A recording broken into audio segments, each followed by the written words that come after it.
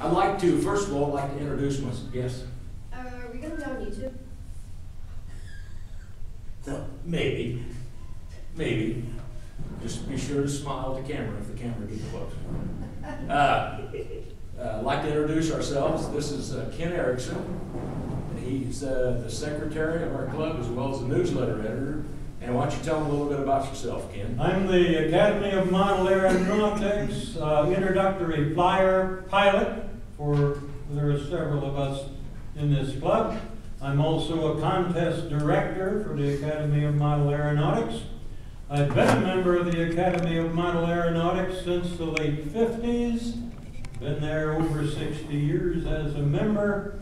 And my first radio control that worked was in nineteen sixty-six. That's what my dad So Ken, Ken has got, you can see he's got a lot of experience. And Mike Martha, Martha over here, he's our field manager. Takes care of, uh, in charge of all the mowing and the fixing of stuff, and building of things. And Mike? Uh, Okay, I'm, I'm uh, the equivalent of Ken, I'm one of the trainers for the club. So if, if you guys ever came out, uh, we, Ken or I at this point would be the one that would train you. We do have a third person. Uh, I've been in the hobby since about seventy-three, when I just came out of high school. And uh, got a good enough job that I could actually buy some of this for myself. It's running, Uh, right? so I've been in it around forty-three years, and it's just a blast to be in, and uh, hopefully we'll spark some interest, you guys. So right there between the two of them, that's a hundred and forty years of experience.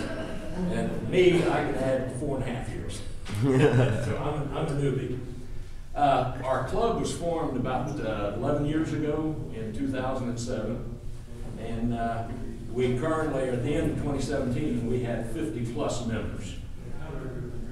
Uh, we'd like to have at least two more. Uh, I'm gonna tell you more about our field and the location of it, uh, later and what it consists of. And our, uh, meeting, we have a meeting once a month, except for December and January. And that meeting is held at Morales Mexican Restaurant on Twenty-Fifth Street Central. Uh, we start, we have a social hour, it starts, from- starts at six, ends at seven, and our meeting starts at seven. And I do every, I, I am, I should have introduced, my my name is John Vinson, and I'm the club president of Bartholomew County Radio Control Flyers. And I make it a point of trying to get that meeting ended at eight o'clock. We used to have some meetings that straggle on to eight thirty, quarter to nine, and that's, that's just too long. Uh, so I do, you can pretty well count on it being out of there at eight or shortly thereafter. And our meeting normally consists of, we have uh, reports from our, our officers, like Michael report on the field, our treasurer will report on our, how much money we got, uh, different people's, uh, different things. And then we always have a short, open floor discussion. If somebody has something they want to bring up, then we uh, allow them to talk about it. Uh, But, but if it's going to start into a, drag into a long situation, then I'll, I, I get it slowed down and stopped, because we still want to get out at eight o'clock. And then very last thing we always do is we have uh, show and tell, where guys will, if they've discovered a new way of doing something, they'll talk about it. If they bought a new plane, might want to bring it in, show it off, tell about it, so that type of thing. As well as we have, occasionally we'll have somebody come in, one, maybe one of our club members, and like Jim Merriman recently did presentations on different types of old uh, World War, World War II planes. Uh, specific, zeroes in on a specific type of plane and tells a little about it, and the people flew it, and things like that. So that's basically what our club is about. And, uh, now, uh, what we, what, uh, we're gonna actually, oh, sorry, here we go. I'm still on. Uh, you might have a question. I've never flown an RC plane before. How can I learn to fly one? We have experienced people in our club that will buddy box you, and you probably asking now, what's a buddy box? Well, Mike and Ken are gonna explain to you how it actually works. I only have one, Mike. And you'll have to, you'll have to pretend that Mike is the instructor, Ken is the student. And Mike, you have, you have to, you have to imagine that Mike is taking, like this plane right over here. And he's taxing it up the grass runway and takes it off and gets it up three hundred feet in the air, two hundred feet in the air and start, and is flying it around. And then, Okay, uh, and what I'm gonna do is basically, if you guys were to come out to the field, this is exactly what I would do with you. So, uh, the first thing I would tell you before we even get started is that if the plane we're training on were to crash, it's not your fault. It's my fault, or Ken's fault, because we have ultimate control of the uh, aircraft, okay? So when you get started, you have one way to do it, uh, between two pilots, the teacher and the student, is what's called a buddy box cord, and it actually would fit right in there. And then what happens is, I now have the potential to control his plane by this little switch right here on the corner. And if I pull that forward, it's spring loaded, but if I pull that forward, it will actually allow me to take over the controls. So you can have it upside down and sideways, and all I have to do is let go of that switch and fly the plane. Um, um, One of the things that uh, we're gonna do is just talk a little bit, or go through again, exactly what we would do. So if we're standing at the field, the first thing I'm gonna tell Ken is I'm gonna take it off, and I'm gonna get it up to an altitude we call three mistakes high. So that's a few hundred feet in the air, so if something bad happens, you don't have to worry about it, we just take it, and Ken's really excited, you, just like the people we normally train. So what I'm gonna do is get it up in the air, so I'm gonna hold this switch, and I'm gonna fly it up in the air, take it off, so give it some throttle, pull it up, watch it go up in the air, and then I'm gonna go, Ken, your airplane, and then I'm gonna let go of that switch. And now Ken can fly, and as you see, he's a. Oh, oh, He's a oh, guy, oh. so I take over. And I, I control it, and I say, Ken, much less movement and don't move it very often. So be very gentle with it. You, don't have to crank it bank to bank. That, just very slight movements and it'll go. Okay, so what I'm gonna do is, we'll fly around a little bit more. I'll get it in an attitude that he understands it's flat, flat and level, let's say. And then I'll turn to him and say, Ken, your airplane, and I'll let go. And look how he's flying now. He's being very careful. He's still gonna make mistakes. But let me tell you a little secret. You guys won't make nearly the mistakes that we did. Because we were, we're, the older you get, oh, I've got it, Oh, I'll take it. The older you get, the better you will be much more quickly. Uh, it's, uh, it's amazing to me. Guys like you can step up and fly a plane almost immediately. You, you're comfortable with it because you've been around things that have hand-eye coordination requirements, whereas we mostly played with rocks and sticks. yes, true. Okay, so a- as we go around, and I, I'll tell Ken, you know, ease up on the, do you have, I have. So I'm gonna tell him, all right, your airplane, he's gonna take over, and then I'm gonna just stand here and tell him, move the sticks gently, just try and, no, don't watch me, watch the airplane at all times. And he's doing that. Now, we have people that look other ways, and that's very bad, in which case I would take over. But then we would just bring it, once Ken's done, and usually, the older you are, the more, more nervous you become. So we'll land pretty quickly, give them ten minutes of flight time. And our job, both Ken and I, who fly all the time with people, we just want to keep the plane up in the air. Because the plane teaches you how to fly. If it does something wrong, you try something different, all we want to do is keep that plane in the air. So we'll, we'll come back and we'll land it, and I will congratulate Ken for a nice flight, and then we'll fuel up and probably, if, fuel up or change batteries, depending on what kind of plane. And then we'll go back up in the air. Uh, we do have, uh, days in the club where we actually invite people in from wherever, anywhere in Columbus or outside, whatever. And we have an open house and we try and teach people how to fly, or at least put them on a, a buddy box and let them fly. And that, we just want, come on in. Uh, we're setting up too, we just want to. Oh, okay. Bring your stuff in. So that, I think, concludes this piece of it. What did I miss, Ken? Anything? Oh, there is another, there is another way to do this without this cumbersome. Technology has advanced. Yes, and what, what we can do is plug a little receiver, thank you, into the student's radio. It's, it just plugs on the outside, and then we can control it with just radio waves instead of that cord. Yes? Which one would you usually use? I normally use that, but I actually have one of the, uh, the cordless. The only problem with using a cord is that you're both flying, you wanna hold the, uh, the extra cord up because, You don't want to step on it. yeah, I did this once. I stepped on the cord while teaching my great nephew to fly and pulled it out of my radio. That's okay, because I still have control. Excuse me. Unfortunately, I forgot that. And so I'm telling him, pull up, pull up, and he's, he has no control. And I, I held the button and watched it go right through the trees. So that was a, and we've all done things like that. You just forget where you're at. Uh, but it's pretty rare, uh, and we try not to do that, so.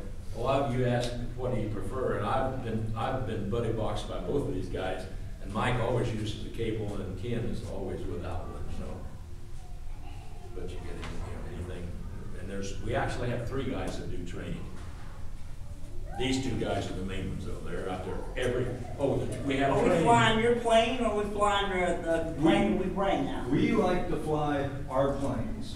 In other words, you're gonna keep the kids on your plane. Yes. Yeah, yeah. Okay. We How want to do that so that, number one, if it crashes, they're not totally destroyed because their plane's in the dirt. Yeah, no. But normally, it's just, we're familiar with our planes, and at the point we think they're ready to fly their plane, someone in the club will work with them to make sure everything's set up, the radio's working properly. It's, it's a lot to do with safety. And then we may, even if they would like us to, put them on a buddy box on their plane and let, take it up and let them get a little used to it, because it might fly different than a train. And then, when they're ready and they've soloed, we'll just take that plug out and let them fly the plane. Usually standing next to them, so if they get a little confused, but there is still a possibility of handing the radio off. That's, that's what, uh, what he's, uh, Kent Atterbury, we Yes. flew up there, we didn't fly any this year, but last year he flew, and that's what they did, they took the plane up in the air for him. Yes. And got it up there, didn't give it to him for two or Great, three, great. two or three seconds. And, but he did it so he could land it and take it Oh, yeah. off. Oh, well, that's great. Good fingers. You Yeah, know. that's way to go. But this here ain't, ain't flew nothing yet, so. But it's, and, and I really am serious that these two guys. Yeah, you, learn so you much play faster. computer games, I assume, right? Yeah. Well, any bit, any bit that you do like that is, like you say, eye coordination is perfect. It helps. Okay, uh, So Mike is gonna, Mike's gonna talk a little bit now about the different types of planes. Where's the glider going? we lost our glider. Um, The first plane that you think of when you get into planes, and I bet you guys have even had these, they're little gliders that are made out of balsa that somebody Oh, there it buys for you. Ah, You can also get foam gliders with six-foot wingspan, but we decided not to bring that. So what a glider, I'm talking about propulsion, High, get as high as you can. what do you think makes the glider go? Hmm? The wings The wings hold it up? and the drag and Ah. Oh, yeah, technical, yes. drag and uh, downforce or Well, upwards. one of the things is your arm, right? That is the initial propulsion, and what makes it go, connected to the wings, is gravity pulling it toward the earth. So what it's gonna do is glide as it goes toward the ground. And it's got to be level or down, pointed down. If it's, if it's too heavy in the back, then it just, Yeah, you, there are things we, we have to do to trim them out. So we have a glider, and most of us, at least I did, started with just throwing those things. Next, one's level up, is you put some sort of actual propulsion on the plane, like this one, which is a rubber band powered plane, and all duck. And those are. Wake up, Jim. Cameraman. As you can tell, it, they're a lot of fun, uh, and these kind of planes, you have to be careful when you fly them, usually when the air is still. But very, very simple. Oh, and I'll give this back to Kim, because I think it's, now, it flipped its wing. Uh, the next one is when you have a piston engine, and, Go over here. Oh, there's, oh, thank you. Two of them, right? Yeah, two of them. So a piston engine is uh, like this, and it doesn't burn gasoline, it burns glow fuel. And glow fuel is basically an oil with nitromethane in it. So with these planes and their props, they basically fuel it up, start it by flipping it and putting a little uh, connection on top of it in order to get it going, and then you go off and fly. So you have fuel in this one that you need to replenish. Yeah. Sir, do you, is it like control by controller? It, yes, it's controlled by a radio, so if if we were to turn that, oh, well, yeah. if we were to turn it on, if we turn this on and turn that on, you would see, and John's gonna go through that a You little can, bit uh, later. you can flip the switch. Ooh. If you watch that one, and I move these sticks, things will move, and I, we won't go into that right now, but it, same thing with any of these planes that are remote controlled, so above a glider, you just control them with this thing. Now, the next one is an electric version of that, so, and that's really popular now. And if you look at this one, there's just a very small electric motor on the front of it that turns that thing prop and gives you plenty of thrust to fly the plane. The difference being, you don't have any messy fuel, you don't have to wipe your plane down after you're done. And a lot of people, we have guys in our club that don't fly any of the, the glow engines because they do make a little bit of a mess. But that's part of flying with glow engines. You clean it off and everything's just fine. This one, uh, when you go to the field, you just have your, usually a transmitter, your plane, maybe a few little tools, but you don't need to carry fuel and a starter and a battery. You just flip the switch. So it's, that's really nice. Uh, let's see, the motor glider is kind of the, taking the first one we talked about, a glider, and putting a motor on it, right? And up here is a plane called the Bixler, and it just so happens to have the motor in the back. Some of the gliders have it in the front. This is neat, because if it were to hit somebody, you don't have a prop. And, and normally, us, we very safe, that doesn't happen, but, uh, this is, what we call a motor glider. It's electric. Uh, you can actually get planes that are, have a glow engine that do the same thing, but most people, I think, today go to this. They're fairly inexpensive, and it's, it's a fun plane. So it's a glider that's inherently more stable and easy to fly. Yes? I have something I guess you'd call a glider, but it has this little charge and it has this little piece and you plug it in the water and charge it for sixty seconds. Mhm.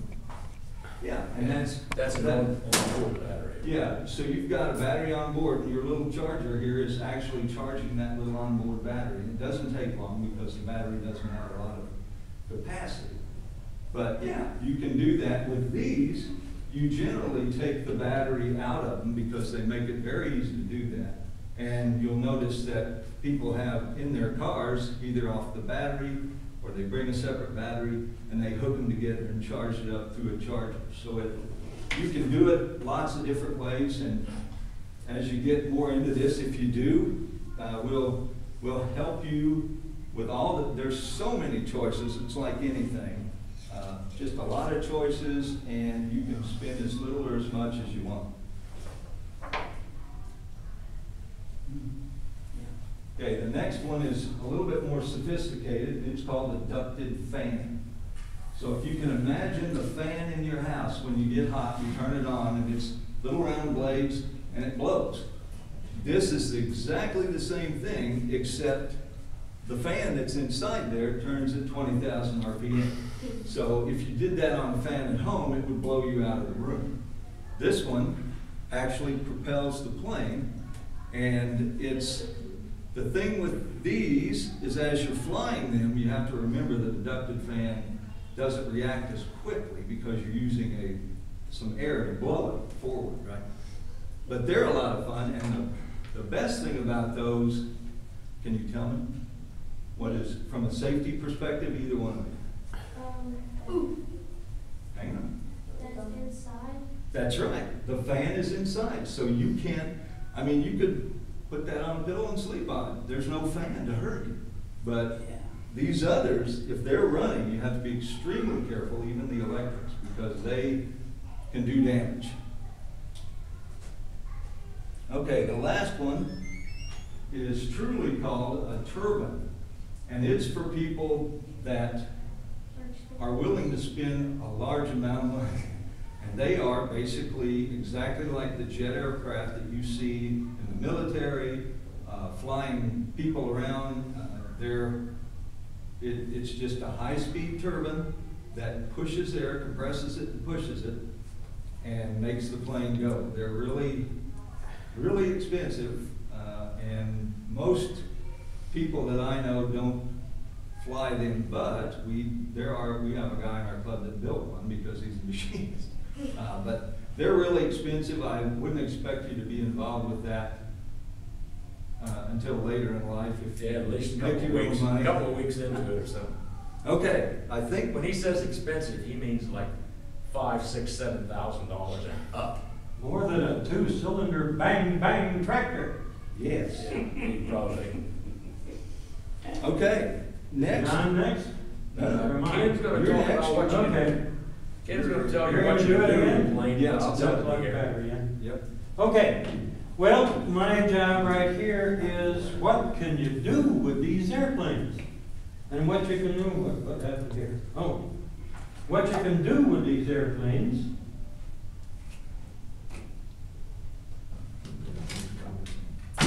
There it is. What you can do with these airplanes is you can learn to keep the airplane in the sky. That's the first thing you learn, and you learn that during the buddy boxing, or during the winter, we fly airplanes like that and bigger in St. Peter's Lutheran Church Gymnasium. And as you can see, it's possible to fly the thing in here. They say it takes a fifteen by fifteen room. That has a battery, it has a radio receiver, it's got things that move and That's it. Fear not, I have been hit with them at full Yeah, it's speed. not gonna hurt. Not a problem. Yeah. The other, uh, Now that other yellow method one on the other go hand. Is outdoors. That's the reason I bought this Bixler. An airplane that has wings much longer than the fuselage is a usually a stable airplane. And almost anybody can get started with a motor glider. Or a glider if you had a way to get it up in the air. So that's, that's some things for getting started. The second thing you have to do is to learn how to land, rather than crash. Yes. Okay. Then you're able to bore holes in the sky. So after you get so you can bore holes in the sky, you can go and participate in fly-ins. Fly-ins are where people gather, fly their airplanes, look at other people's airplanes, and Still talk okay? to the other people. We spend eighty percent of our time talking to the other people at the field. You might not want to do that. Then there are fun flies. Fun flies are like fly-ins, except you have a little tasks. It's fun to do tasks, you know. So then, after the fly-ins, we do have things you can do, and they're in the Academy of Aeronautics events rule book, because those are more tasking. There is fixed wing scale. Scale means you built it to look just like a full-scale airplane, like the ones out at the airport.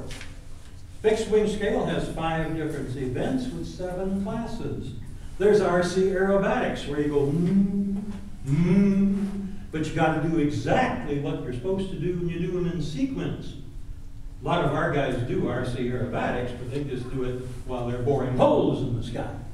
So anyway, RC aerobatics has two events with eight classes, and these classes are age-based.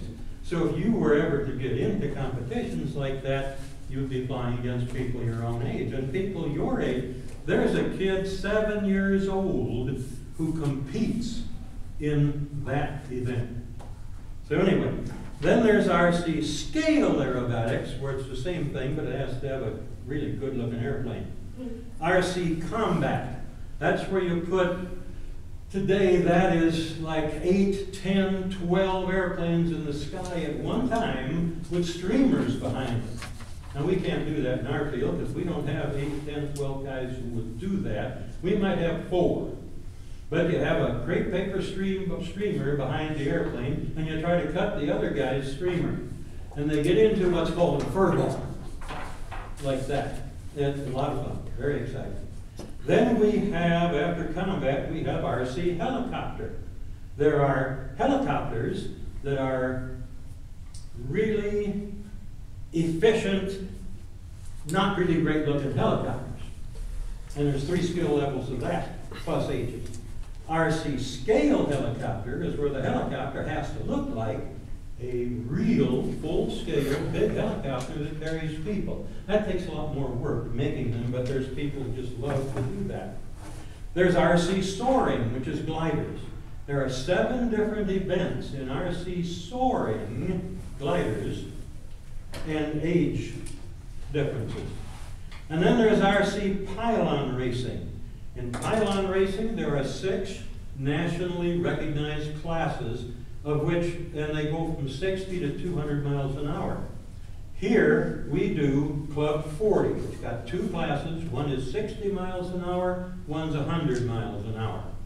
And this airplane right here is the same ARF, the same airplane that some of our guys use for racing. Some of the rest of us use a little less expensive airplane, but it has the same wing and the same tail, just not that fancy fuselage or that fancy landing, landing gear. And one class goes 60, one class goes 100. There is RC assisted free flight, which is kind of a funky thing. Then there's Fun Fly, which we talked about.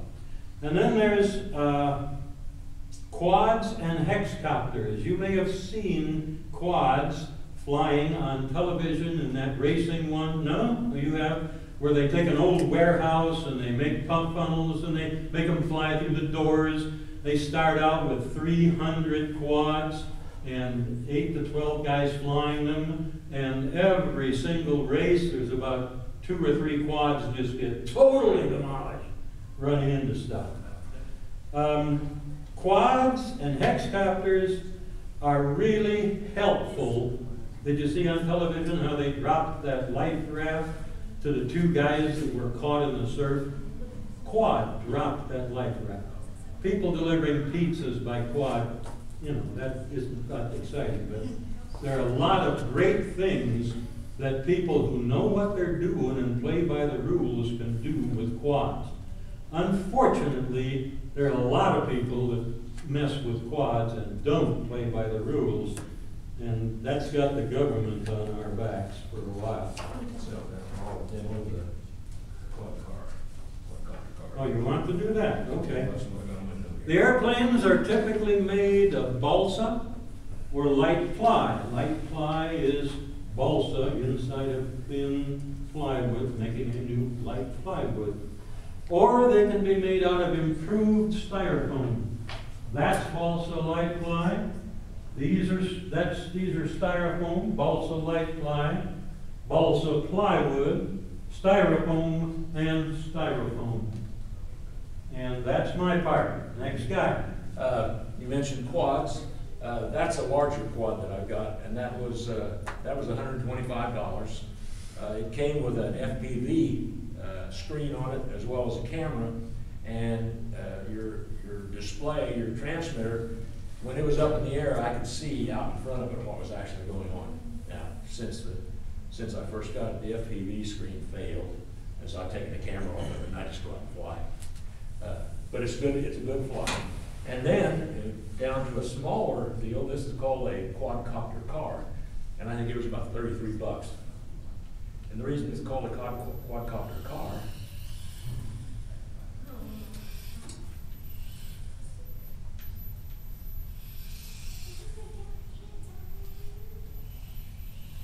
I could, if I could control this a little bit better, it'd be great. But then, then you can take off.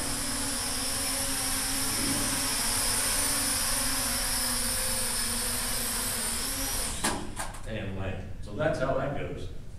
So we got all different kinds of uh, toys, if you will, that keep us excited about the hobby. Uh, what is that? What's the next thing on the agenda here? Cost. The next thing. Well, uh, individual planes, but. RC soaring. RC soaring. Uh, wait a minute, oh, yeah, okay. Yeah, this, this on the, the second, uh, second, third page. Well, there are also contests You in may have- soaring. Yeah, you mentioned, okay, you covered, yeah. Mhm. There's a whole bunch of categories in soaring, because that's even older than the piston engines or the electric engines or all that. Okay. Okay, you mentioned uh, balsa, light ply, and styrofoam. Uh, so next thing would be uh, the vapor. Uh, Ken's gonna talk about that, talk a little bit about its cost. That's yours. That's mine. Technology has gone so far, the blasted things are smarter than we are. If you forget to turn it off, it buzzes at you. All right.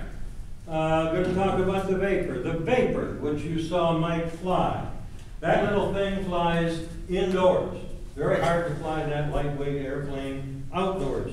It can be purchased for ninety-nine dollars. And trouble is, for ninety-nine dollars, you do not get a transmitter. You get a air, the airplane, and this is the new version with the lights on it. The old version, which didn't have lights, cost less. Could you believe that? This is the battery.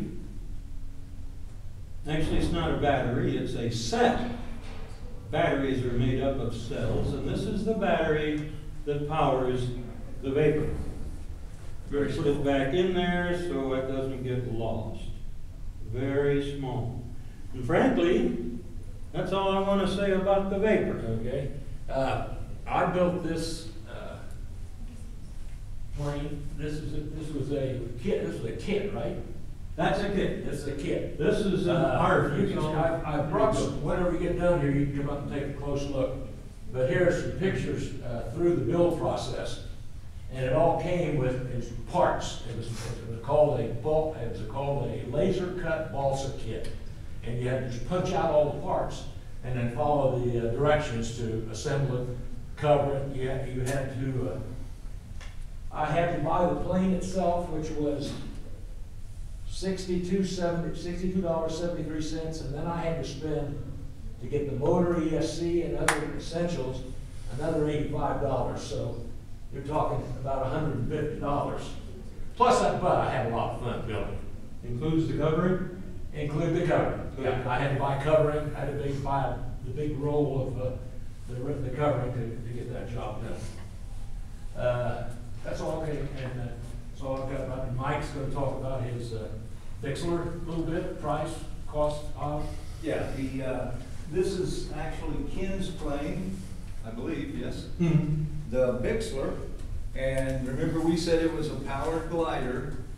Uh, so this plane, all told with the plane, the battery, receiver, uh, it's about hundred and forty-ish dollars.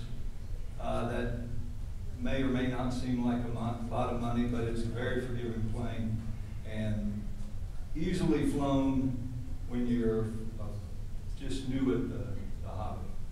So about hundred and You forty roll that plane, right? Hmm. Yeah, Oh, well, you can. you hold it and let it go. You don't really, want- You give it a little toss, little, I give, I give mine a little toss. Very, not much. It'll Yeah. take off on its own, uh, but that's, you know, that's kind of the range, about hundred and forty dollars. Tossing them takes some skill. Well, it you That's the can't, problem with tossing. yeah, you don't, if you, if you're not careful, you can toss it down. Who had the Make sure, question? sorry, go ahead, that's right, go ahead. Uh, how high will that glider go? Well. How far can you see? How let me- far can you see? Let me say this, legally, we're supposed to stay in below four hundred feet. And that's because there may be air traffic, especially with Columbus Airport, coming in. Uh, Rarely do they come over our field, but we're supposed to be at about four hundred feet. The planes will usually go until you can't see them. And They'll be so small, they'll look like a little speck, and then you, you don't know how to control it. So what most people do is just take their fingers off the stick and see what it's gonna do.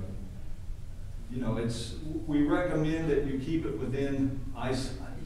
And for some of us, that's a lot shorter distance than for you guys.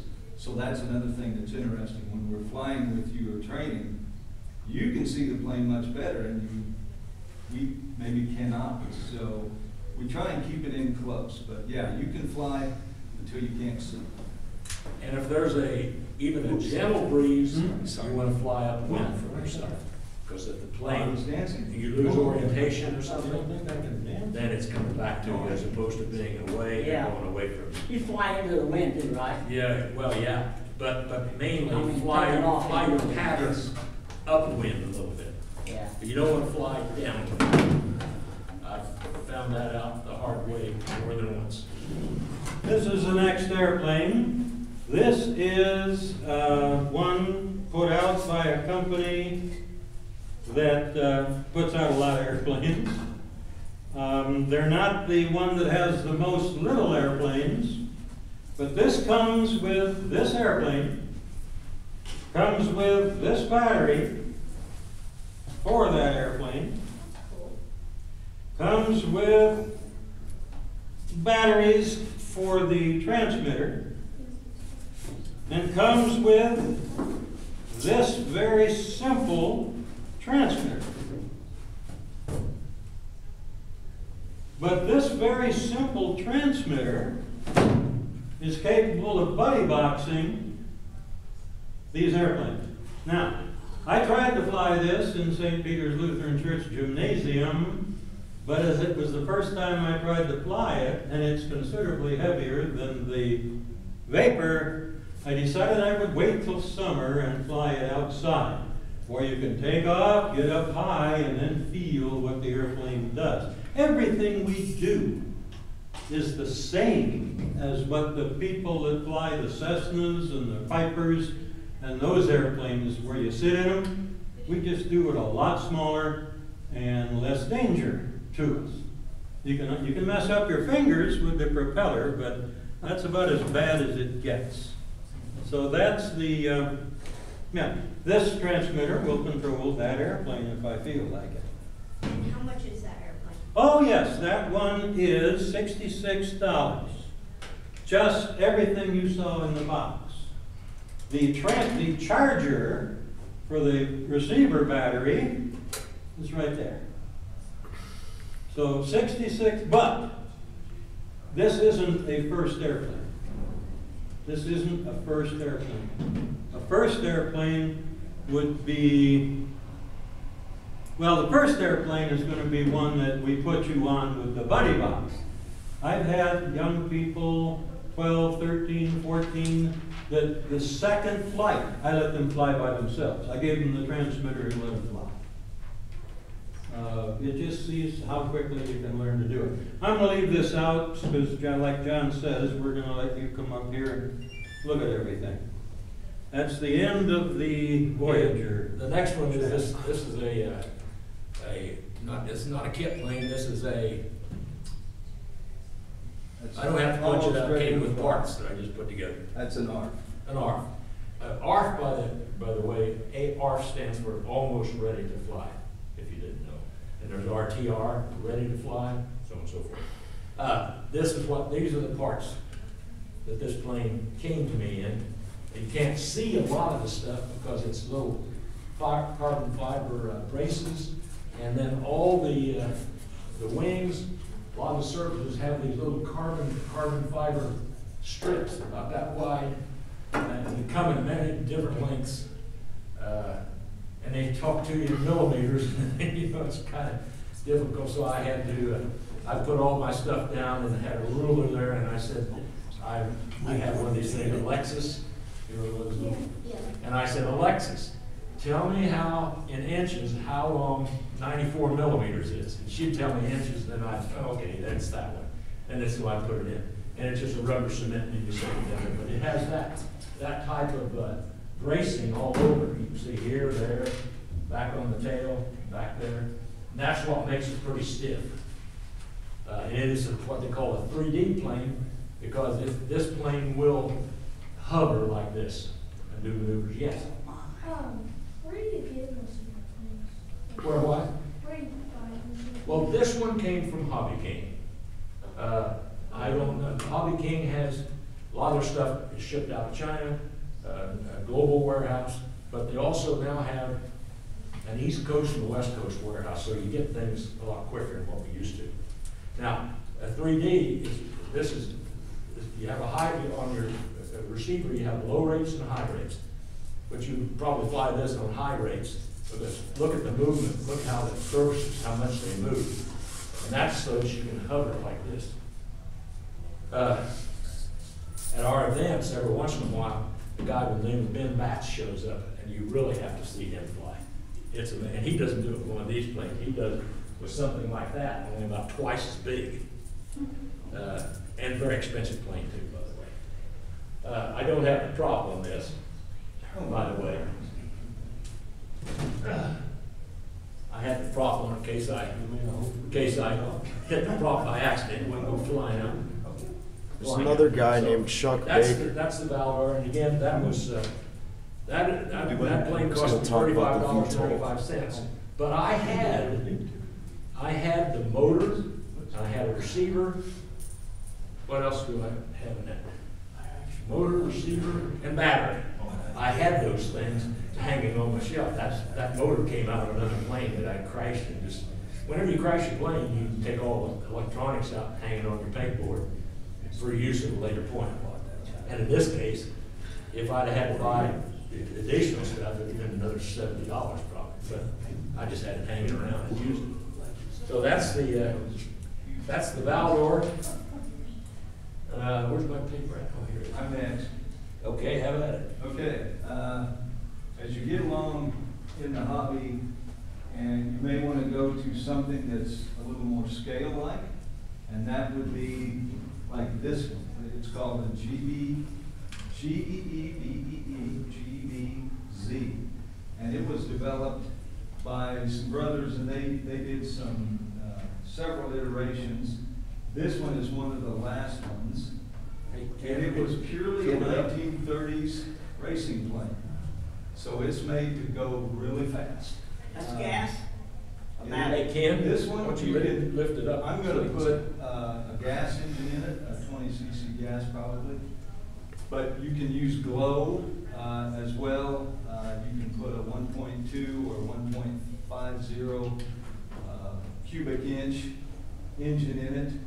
It's a beautiful. Uh, It, it actually is, uh, as I said, it, it came as an ARF, correct, Ken? Yep.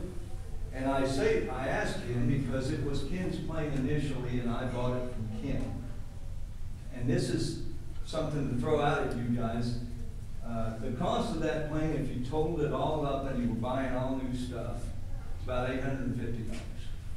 But would you spend that? No, not necessarily. What, what you do is you buy other planes, you fly, you've got some servos. You have a radio, you're flying some of these, you have a radio. Then maybe you've got a couple, three planes, so you have some receivers.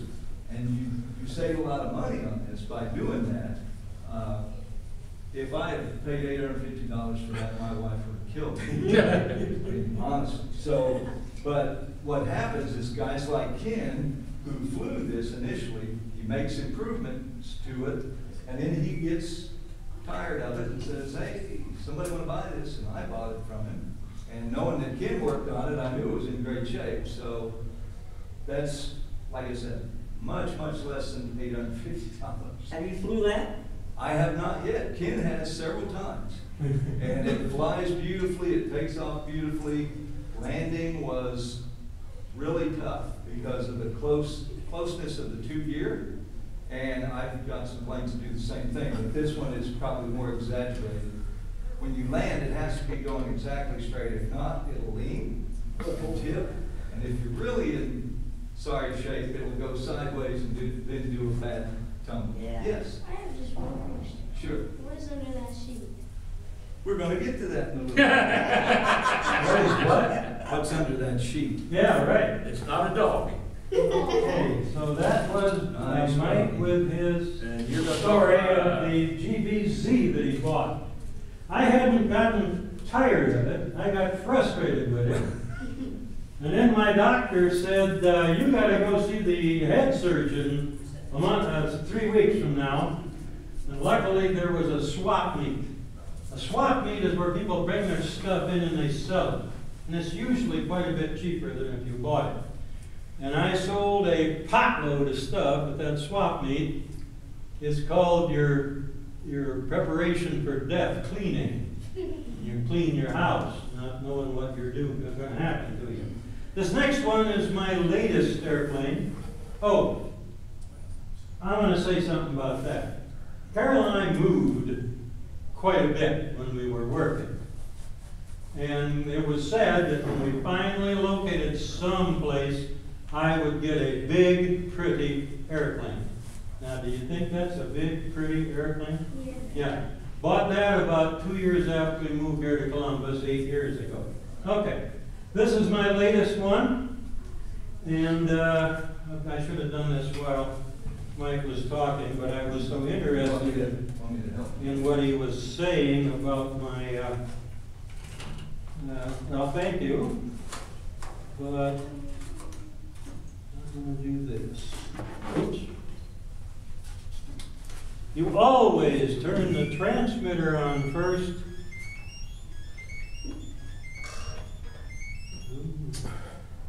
And then the receiver. I didn't do it. He's, he's. This airplane's made out of styrofoam. It's an R. Each wing half was one piece. Each of these was one piece. That was one piece. This was three pieces. And the, everything, all the Check it's your, uh, servos, servo motors were already in there. the All of the, uh, all of the, uh, the only thing I that thought wasn't in had there like when I bought this, was the battery and the receiver. Didn't have the fingers in the way. Receivers are about Okay. twenty-five bucks. Take, 'em- take a, Several different brands, and the receiver has to match the take a, transmitter. take a bunch of pictures, slide, The, uh, take a bunch of look pictures. at Mike's notes here.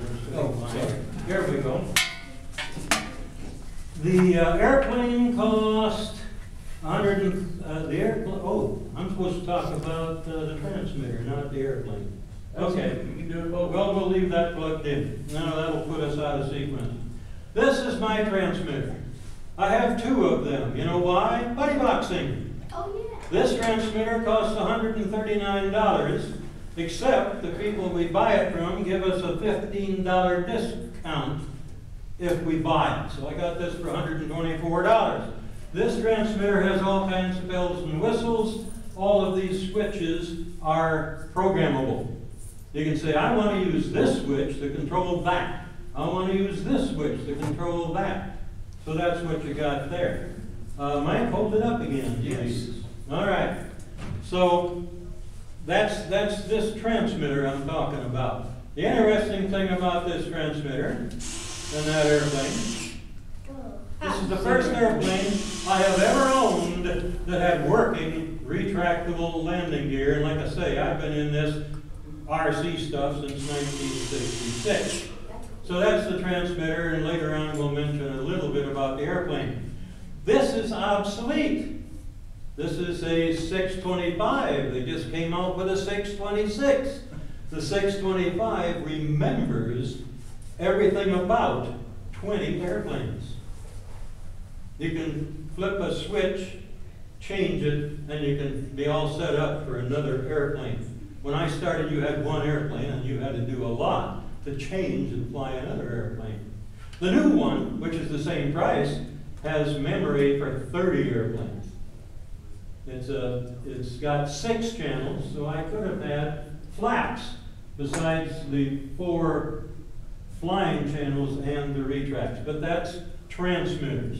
You can also buy twenty-eight channel transmitters that cost seven, eight hundred dollars. I'm too cheap to do that, so I use this one, works just fine. We've even Okay. got, we've even got one guy in the club that bought a You want fourteen it on this hundred again or dollar transmitter. belly? Hmm? You want it sitting on his belly? or- That's all right, that's all right. So that's me talking about transmitters. John, eighty-six. Okay. Get back here without stumbling over. This is my AT six Texan, I've had for a few years, haven't flown it yet, because I'm, uh, Mike and and Ken getting my buddy boxing skills up, so last September I did have my first uh, solo, and I've flown a number of times since then. So I'm getting close to probably putting this plane in the air. Uh,